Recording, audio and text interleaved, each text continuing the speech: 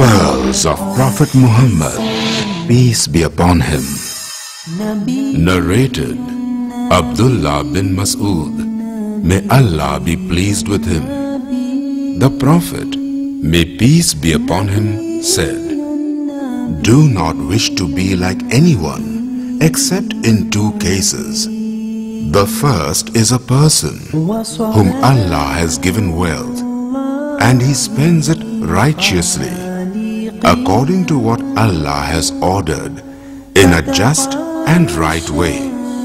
The second is the one whom Allah has given al-hikmah, wisdom, that is the knowledge of the Quran and the Sunnah of the Prophet. May peace be upon him. And he acts according to it and teaches it to others. Sahih al-Bukhari, Volume 1, Book of Knowledge, Hadith number 73.